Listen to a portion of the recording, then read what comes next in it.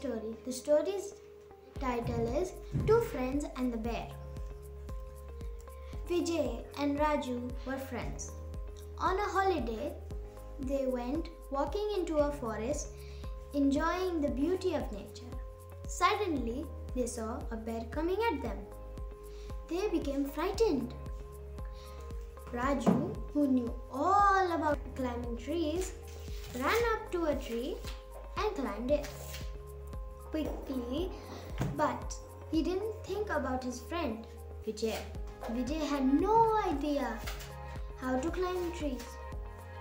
So, Vijay thought for a second.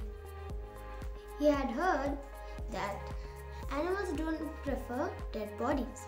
So, he fell to the ground and held his breath. The bear sniffed at him thought he was dead, so he went on his way. Then Raju asked Vijay, What did the bear whisper into your ear? Vijay replied, The bear asked me to keep away from friends like you, and he went on his way. The moral of the story is a friend in need is a friend indeed.